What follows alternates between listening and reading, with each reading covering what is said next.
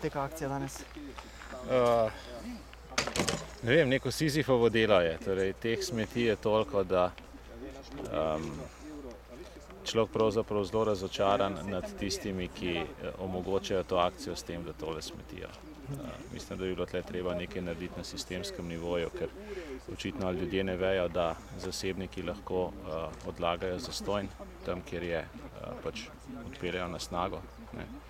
Um, za podjetja pa ne vem, jaz sem čutil tukaj veliko nekih malih obrtnikov, SP-jev, ki si zmanjšajo stroške na ta način, te bi mogli ali inšpekcije uh, nekaj oddelati, ali bi mogli pa na nek drug način zbirati sredstva za to, da bi tudi oni lahko brezplačno nekam uh, odlagali smeti.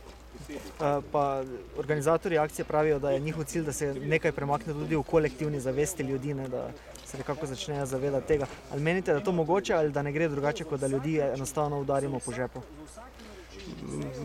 Vedno deluje ta in palica in korenček, vsako po svoje. Jaz mislim, da tisti, ki v tej akciji sodelujejo, ne bodo nosili potem smeti tja. Ne. Težave so sami tistimi, ki ne sodelujejo in, in ki si zdaj imajo roke, a zdaj bo pa prostor za to, da bomo spet pripeljali uh, svinjarijo.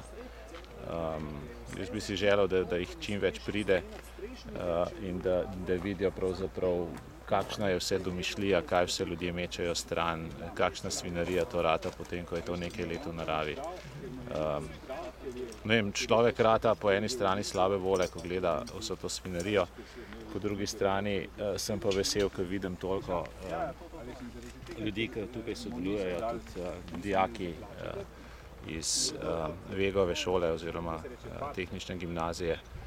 Um, s tem nastaja neka generacija mladih, ki prav gotovo ne bodo nosili smeti več v naravo. Hvala lepa. Hvala.